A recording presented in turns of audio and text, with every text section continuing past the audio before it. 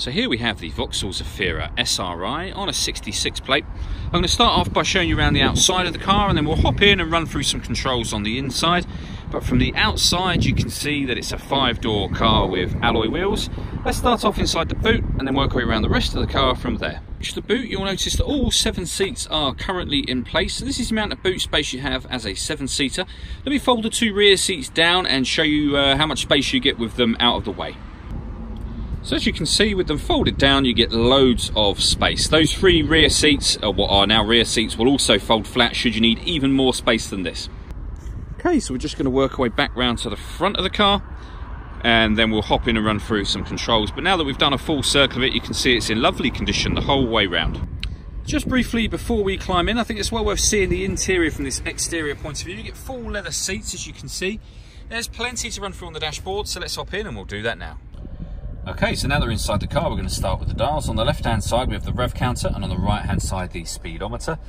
At the bottom in the middle, you can see the total miles for this car are 13,176.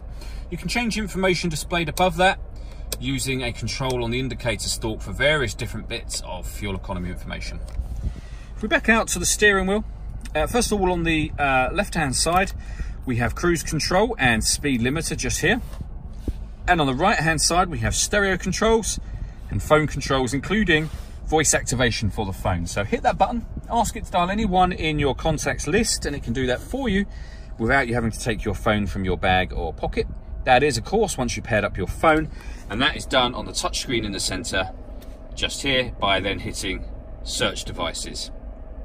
If we go back uh, to the beginning here, uh, when it comes to audio, you can see we've got AM, FM and DAB radio, USB input and Bluetooth audio as well. So once you paired up your phone, you'll obviously be able to make and receive phone calls, but you can also stream your music wirelessly on top of that. Uh, and then you've got uh, something called projection. So certain Vauxhall friendly apps can be projected onto this screen uh, using your smartphone and the USB cable as a connection. Uh, working our way down from there, we have the air conditioning.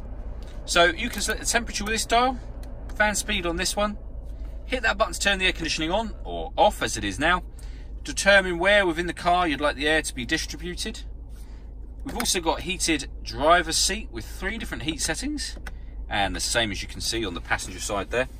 Underneath this section we have this little cubby hole that opens up that's got a 12 volt charging socket in it and the USB input that we mentioned a moment ago and then stacks of storage underneath there. We have a six-speed manual gearbox. We can turn on or off the parking sensors with this button, and this turns off the traction control. All that leaves me to say is thank you for taking the time to watch this video. If you'd like to come and see the car in person and have a test drive, please feel free to call any of our MJA sites. We'd love to hear from you soon.